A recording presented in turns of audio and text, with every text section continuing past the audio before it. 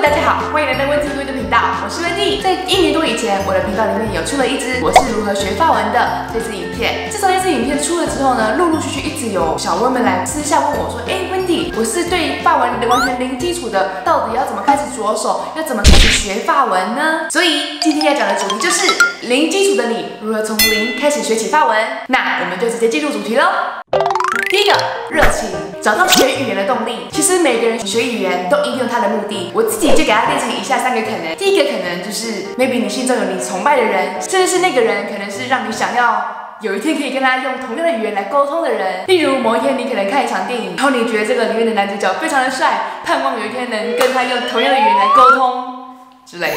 那第二个可能呢，可能就是你之后 maybe 想要到当地留学深造去学习，甚至去工作。那第三个可能呢，就是 maybe 你纯粹就是喜欢很喜欢语言，你想要让自己增进另外一个技能。我又举我自己的例子好了，当时真的就是因为看了有一部电影，大家应该非常熟悉，就是《放牛班的春天》。因为那部电影让我意识到，原来法文是这么的迷人，当下真的是完全处于迷妹状态。连他们的歌啊，整个电影主题曲啊，配乐，整个就是好了，当时真的是疯狂的爱上这支片。虽然当时我跟刚说唱歌，对不对？但其实我那时候真的完全真的都不会发文，所以有的时候我唱歌真的就是一直哼一直哼，至少把那个旋律都记起来了。然后有的时候就讲一些我自以为对的发文，这样。刚刚讲到唱歌，那第二点就是找到自己喜欢的歌曲喽。唱歌除了旋律好记许多以外，也根本就不需要去在乎讲这个语言的腔调问题，因为你在唱歌的时候基本上是。听不出来，从旋律开始，然后慢慢去了解歌词，甚至是它的发音。会唱法文歌之后呢，基本上应该就可以胡乱到很多很多的同学吧。A B C D E F G H。哎，张老师，听说你最近法文学不错哎，要不要来教我们念几句啊？没有啦，快点了，你少来卖 gay，看我是懂什么？我们祖辈也要。哇塞，好厉害啊！哎，教我几句，到底怎么念？我要知道怎么念。怎么念呢？对，怎么念？我是懂什么？我们祖辈也要。嗯，不能，不能念的，只能用唱。我是懂。第三个。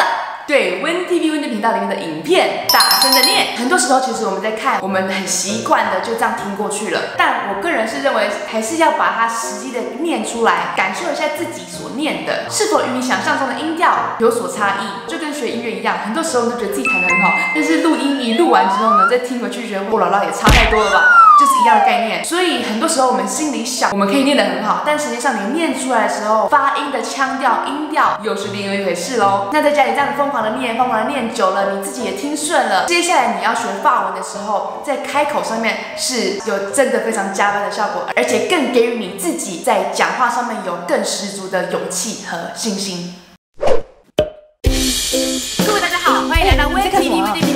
是微弟。如果之前花了我的朋友们，你长超像你。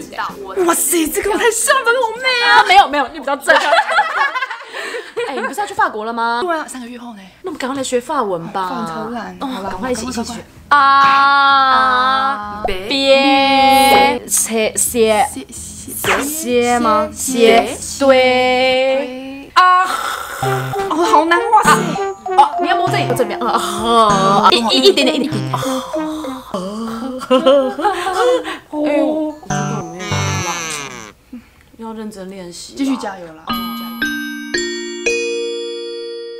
！A B C D E F G H I J K L M N O P 第四点呢，就是常常有事没事呢，就听他们的 radio。在这边推荐给大家一个 application，它叫做 radio。进去之后呢，你基本上有一呃好多个，你看有这一面、下一页，非常非常多的选择。听广播真的会刺激你的耳朵，不是说你要百分之百听懂他在讲什么，是让我们自己去好好去习惯他们的那个音调、腔调。在讲法文的时候，哦，他们是这样子讲的。不间断的听听听听听久了，一定会多少听出一些所以然，不管是。听到一成还是听到零点五趴，听了多少那些真的都是你的。那当然前提是你真的要持之以恒，不能只有听一个礼拜，然后之后就不再听了。这样子的语言的刺激，对于学语言的任何阶段，觉得是有非常大的帮助的。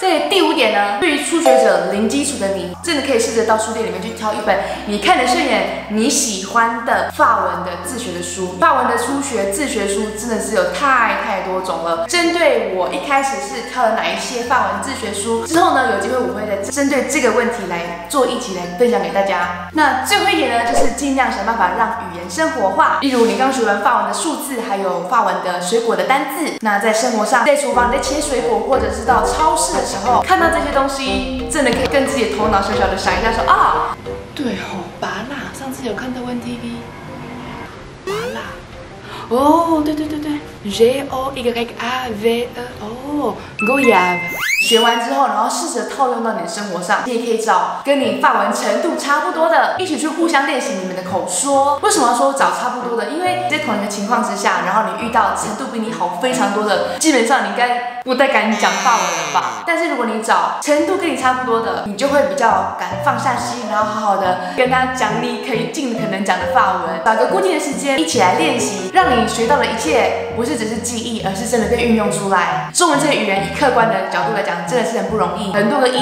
我们都是发得出来的，所以其实我们讲中文的人要去学其他的语言，或者说学法文，其实我觉得是不难的，只是我们要有一个敏锐的耳朵，所以其实每个人都可以把法文或者说把语言讲得非常的好，我觉得是没有问题的。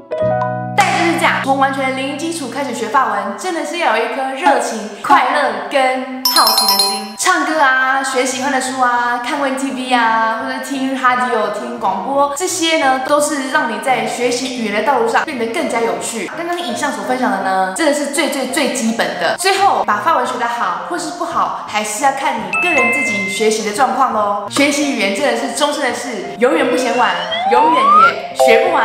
好了，那今天的分享就到这里。喜欢的话，记得帮我订阅、按赞、分享。有什么心得或感想，都欢迎在底下留言。那我们就很快的下一期再见喽，拜。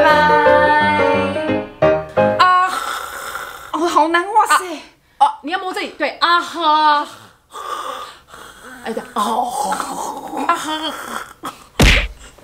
我们是不是练得很烂呐、你在笑什么啊？